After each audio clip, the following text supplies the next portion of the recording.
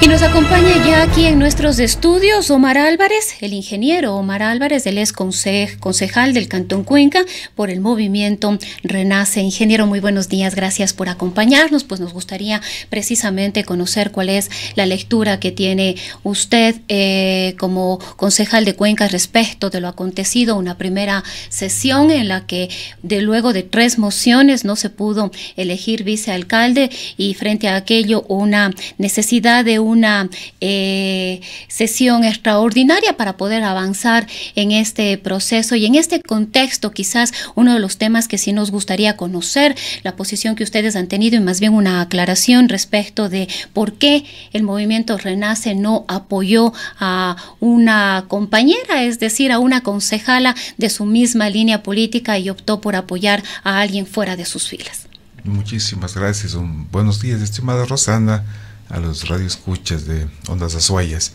Gracias por permitirnos dar la opinión personal y también de lo que correspondería al Movimiento Ciudadano Renace respecto a lo sucedido la semana anterior en donde eh, pudimos instalar la primera sesión del Consejo Cantonal en la que se debía elegir eh, vicealcalde, eh, vicealcalde o vicealcaldesa.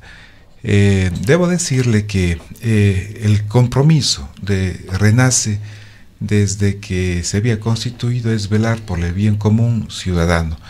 Y en aras de la gobernabilidad habíamos tenido espacios de conversación con otros cuerpos colegiados políticos y sobre todo con el, propio alcalde de, de Cuenca, Pedro Palacios, en el que nos pedía que se pudiese apoyar una candidatura eh, propia de su eh, tienda partidista, por cuanto en los proyectos ciudad que él tiene requiere desde la vicealcaldía alguien que le ayude en la articulación de lo que sería el trabajo ejecutivo de él y lo que correspondería al legislativo en el Consejo Cantonal. Y nos parecía coherente porque, y aquí lo voy a repetir una vez más, eh, no se trata de una elección de un hombre, de una mujer, de varón, sexo masculino, femenino, género, sino más bien de ver el bien común ciudadano. Desde esa perspectiva, eh, la posición al interno de Renace fue renunciar a lo que nosotros creíamos un derecho, eh, fruto del reflejo de las elecciones, en que la vicealcaldía podía estar con nosotros, como un signo inclusive de desprendimiento y de apoyo a la ciudad de Cuenca, al alcalde. Coincidimos con Pedro, eh, Pedro Palacios respecto a lo que se aspira en los próximos años en el Consejo Cantonal y en la alcaldía en general, y desde esa perspectiva, pues hablábamos con él de apoyarle para que pueda lograr eh, conseguir lo que él aspiraba a tener en la vicealcaldía, ese, ese socio estratégico entre alcaldía y Consejo Cantonal, como así lo dio más bien. Ahora, ingeniero, ahí nos preguntamos un poco, ¿esto fue una decisión realmente eh, de bloque? Porque recordamos con un poco, con un poco de anterioridad a esta eh, sesión, incluso pudimos dialogar aquí con el mismo Jefferson Pérez y él también tenía eh, como criterio que Marisol Peñalosa podría ser uno de los nombres para la vicealcaldía. Dialogamos también con los miembros de Fuerza Compromiso Social y dijeron que habían tenido acercamientos con el movimiento Renace para apoyar esta candidatura y que de alguna manera ellos tampoco entendían el por qué el momento de emocionar las candidaturas ustedes no apoyaron a Marisol, que es parte de sus filas.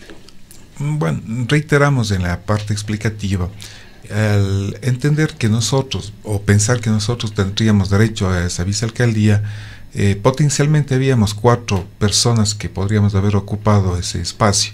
Y dentro de aquello se analizó la opción de Marisol como mujer, como representante del sector rural, que podía haber sido una de las ah, opciones, pero estimada Rosana, no se trata de un querer solamente interno, sino de un observar eh, las posibilidades dentro del entorno que nos toca, en este caso, decidir. El consejo está compuesto de 15 concejales más del señor alcalde. Eh, eh, con mucha pena deberíamos decir que no se trata de simplemente hacer unas mayorías simples, que tal como está eh, compuesto este Consejo Cantonal resulta inclusive más complejo. Ninguna fuerza por sí sola tiene la capacidad de eh, pensar que se pretende una mayoría, inclusive aún asociándose dos grupos, dos fuerzas políticas, tampoco se tiene esa mayoría suficiente. Esto quizás es algo saludable para la democracia, aunque también eh, vuelve complejo el entorno de acuerdos. La candidatura de Marisol, bajo la propuesta de que el alcalde requiera a alguien de su confianza para la gestión, tampoco tenía el apoyo suficiente. Y más bien nos preocupa porque luego de los análisis que habíamos realizado, en donde Marisol podía haber sido una de las candidatas, pero finalmente no conseguíamos el consenso generalizado de consejo, habíamos decidido apoyar una de las propuestas del propio alcalde Pedro Palacios.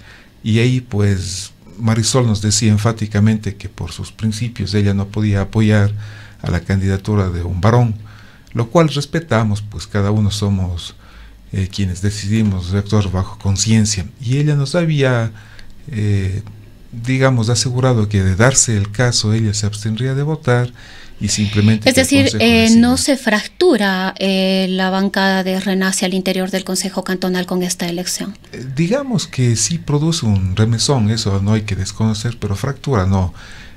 hubo la propuesta de otra fuerza política en, en las que creyeron que iban a, digamos que su decisión era apoyar a Marisol, aunque hemos hablado de que agradecemos el apoyo, sin embargo, les invitamos a, que veamos por ciudad, no por una decisión partidista.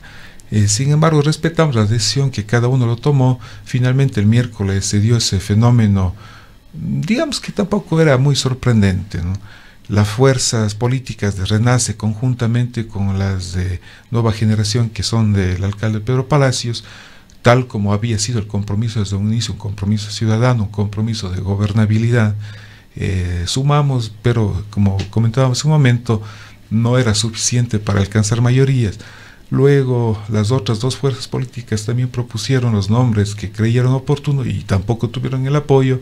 Finalmente eh, se tuvo que clausurar la sesión sin haber elegido el vicealcalde, quedando pospuesto para el viernes. Entonces debo comentarle que entre miércoles y viernes hubo la posibilidad de tener unos diálogos más amplios unos diálogos ciudadanos. Y aquí sí, permítame saludar, agradecer, felicitar y, por qué no decir, felicitarnos todos que dejamos de lado cualquier posición partidista, cualquier posición personal individual en aras de una salida democrática, una salida que le permita, y como decía hace un momento, de forma inmediata poder empezar el trabajo por Cuenca, no empantanarnos a una eh, una de las justificaciones eh, para de aquella, de esta decisión, es justamente la gobernabilidad.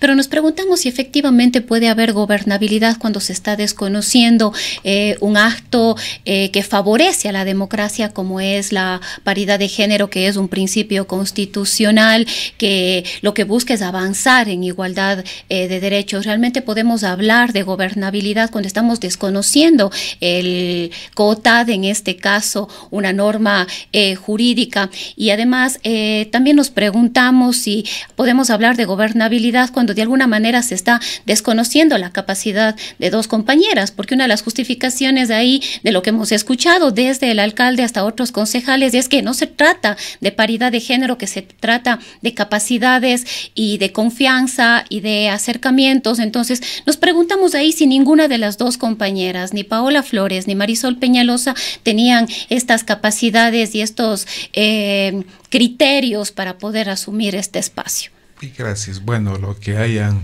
declarado, pues correspondería a ellos seguir en el diálogo, si, me permite. Creo que capacidades tenemos todos los 15 concejales que hemos llegado. Como está constituido es el reflejo de cómo está implementado el marco jurídico. El COTAD en el 317 es muy claro. Eh, promueve, no obliga, promueve eh, la equidad de género de ser posible. Ahí pues no soy abogado para hacer interpretaciones constitucionales. Pero estaremos diciendo que pese a la existencia de dos mujeres en el Consejo, no es posible. Bueno, es su percepción porque podríamos decir, habemos 13 hombres que proporcionalmente representamos más del 80% de la composición del Consejo Cantonal, pero no se trata de números, una vez más, si me permite insistir, no se trata de ser hombre, de ser mujer, sino se trata de encontrar el espacio idóneo para que el proyecto ciudadano salga adelante. Y me sumo a su criterio, e incluso hace un momento comentábamos, me parecería que la forma de zanjar estos inconvenientes sería que sea más profundo la definición del marco legal, del mismo 317 del COTAD. Personalmente creo yo, si es que usted me lo permite, insisto, eh, proponer ah, en, el espacio que corresponda que se haga una reforma de ese artículo para que no queden las ambigüedades. Mire usted, el Consejo Metropolitano de Quito acaba también de elegir un vicealcalde y que en forma similar, por decirlo de alguna manera, a lo que sucedió acá en Cuenca, allá también fue electo vicealcalde alguien del sexo masculino. Yo no diría que no se respetó, simplemente se acogió la decisión que internamente el Consejo creyó oportuno el, el hecho de la de, género pues también no se lo aplicó como quizás eh, los colectivos femeninos lo, lo, sugieren, me permitiría yo, decía, sugerir de que se puede hacer una reforma y que en las elecciones, tal como sucede a nivel de los gobiernos provinciales y de la misma presidencia de la República, se trabaje a nivel de binomio eh, de una vez con paridad de género, varón y mujer. De esta forma no tendríamos que estar sometidos cada que se da un cambio en, el gobierno local a este tipo de interpretaciones. Tanto más que, y ahí creo que sí daría la razón al, alcalde Pedro Palacios, la vicealcaldía debería estar allá, más, de, más que capacidades es la confianza y en el proyecto político que posiblemente lo tiene. De hecho, estamos en esa intencionalidad de apoyar el proyecto político. Cuenca se pronunció por el alcalde, más no por Justamente, justamente, eh, ingeniero Álvarez, este, esta votación que se dio a favor de Pablo Burbano justamente respondió a una serie de acuerdos en torno a una agenda legislativa. ¿Cuál es esta agenda legislativa? Eh, ¿Cómo se la conformó? ¿Desde dónde nació? ¿Cuál fue la propuesta? Eh, desde que ya se dio el resultado electoral días después, cada agrupación política eh, entendemos, hizo ya una proyección del trabajo que se tendrá que elaborar en el próximo Consejo Cantonal, nada más que no hubo el espacio, no hubo la posibilidad de habernos sentados todos para que esas agendas individuales ponerlas en común y definir una agenda de conjunto y quizás esto llegó hasta la primera sesión de consejo en donde eh, no se trataba, insisto, de encontrar un acuerdo sobre la persona que sea el vicealcalde, sino más bien sobre este compromiso del Consejo Cantonal de empezar un trabajo organizado, una agenda legislativa que permita viabilizar las urgencias de la ciudad de Cuenca. Y esa es la razón por la que el día miércoles, pues finalmente no se pudo tener la decisión que ya conocemos. Entre miércoles y viernes eh, pudimos tener el espacio de encuentro todas las fuerzas políticas, poner en común dichas agendas y sí, llegar a un consenso de que más allá de la persona, pues sí tenemos que empezar a priorizar determinadas urgencias que Cuenca requiere y pues de ahí en pleno empezar el trabajo legislativo. ¿Cuáles son estas urgencias? Es decir, ¿hacia dónde apunta esta agenda legislativa pensando en corto y mediano plazo? Eh, en corto plazo la urgencia de poner en marcha proyectos que están represados en la ciudad. ¿El tranvía? El tranvía entre ellos y el tranvía con todo lo que está asociado, no solamente eh, el equipamiento del tranvía como tal, sino el sistema de movilidad de Cuenca, el sistema de movilidad urbano, rural, de conectividad hacia el tranvía y la propia puesta en marcha del tranvía como tal.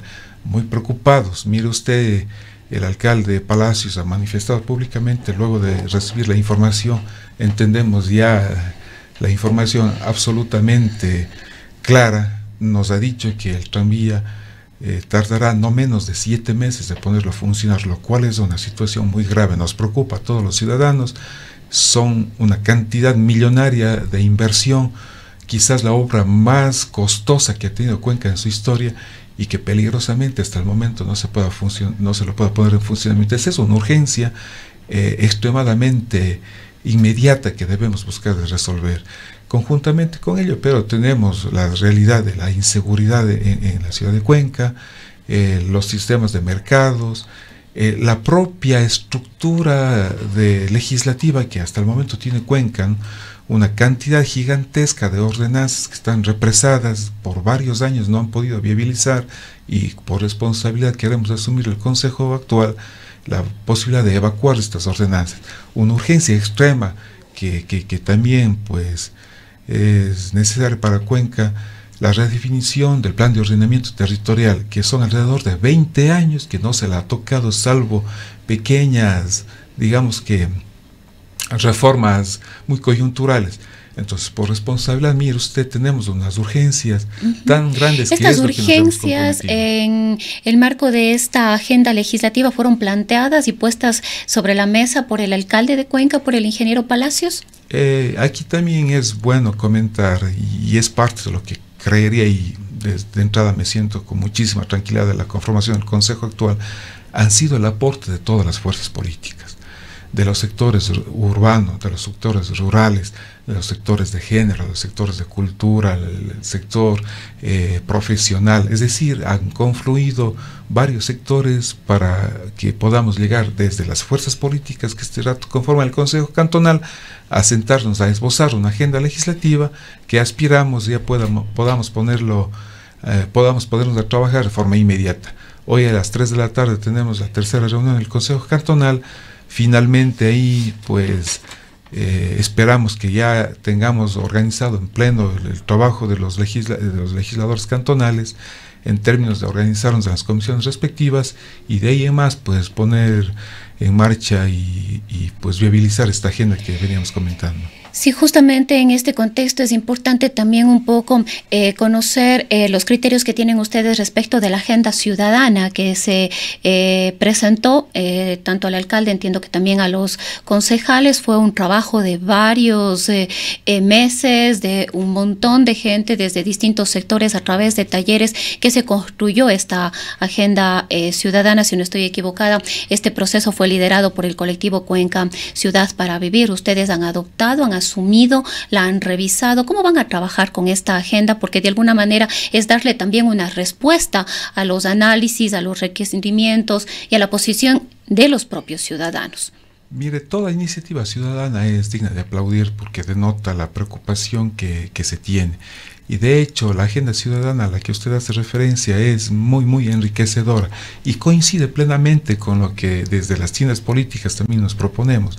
Y pues esas y otras más que también nos han hecho llegar desde los movimientos que se generan a nivel ciudad, nos han hecho llegar y que todos apuntan a eso, a una cuenca mejor, una cuenca más equitativa, más incluyente y que esperamos irlas evacuando conforme empiece ya el trabajo del Consejo.